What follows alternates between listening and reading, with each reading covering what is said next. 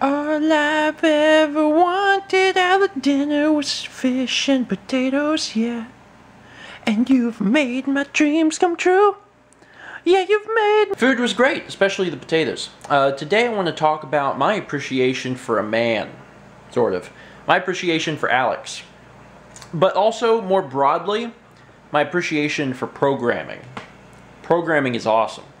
Um, being able to automate tasks is awesome. And I'm going to explain what happened today, what clicked in my head, which allowed me to share something with Alex and how he saved me days worth of work. So one of the big things that we do over on Stephen Plays is memorable moments. If you aren't a regular viewer and you're not familiar with the concept, we take tiny moments that are voted on by you guys um, from any of the Stephen Plays episodes, and then we repost them. But instead of in the entire episode, we just do the tiny little moments. So whenever you guys are watching an episode, if something funny happens, people will say, "Oh, memorable moment," or they'll they'll have a timestamp or whatever. So what I do is I go through the comments of every episode, and I write those down. And generally, I don't do them until it's been uh, you know, maybe a few months since the LP ended, and then I start bringing out the moments. The problem is, there's a lot videos that I'm releasing, and there's a lot of moments. And I got a, a lot of other stuff to do too. Um, so it takes a lot of time to compile these lists. So I was spending several hours today writing down moments for Skyrim, old Skyrim episodes. And it hit me, you know, there's got to be a better way to do this.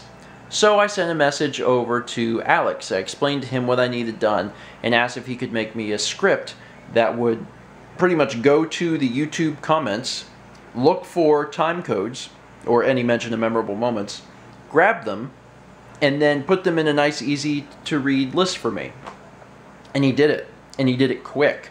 Um, Alex is a uh, really, really amazing programmer, and he knows what he's doing, and he was able to do that uh, very quick.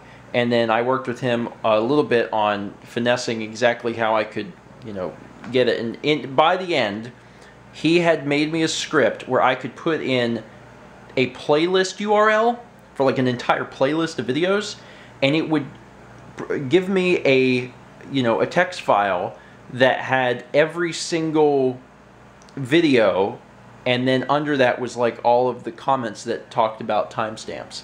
So in other words, instead of having to spend hours going through all these videos, I can just type in this playlist URL and it brings up all of the, the timestamps it saved me literally days, like days, if not weeks, worth of work um, that I would have to get to eventually. Now I still have to make the moments, so I still have to, you know, like check the timestamps and then decide which ones we want to keep and then make them.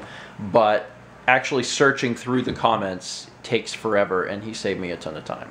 So programming saves lives, or at least a lot of time. Anyway, um, kind of a short and simple vlog. Uh, more stuff coming this weekend, and um, hopefully getting severely caught up on vlogs this weekend, which is nice.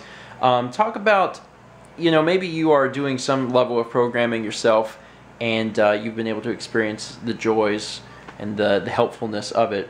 Um, or maybe you have a friend that has done something like that, or anything related to programming. I'm not going to let you veer too far off course today. I want to hear inspirational programming stories. I don't know, talk about that. Thank you so much for watching, and as always, let's meet back tomorrow, shall we? There's hundreds of receipts that we have to go through to, to figure out if we can uh, count it as a deduction or not. There's a lot of stuff we can deduct, which is really sweet. Who in Dagon's name are you? Speak, or I'll cut you down where you stand. Oh, will you? Well, what's going on here? Oh, I was part of the gang in the ruins here. Friend of mine went crazy and stole the boss's sword. They blamed me for it.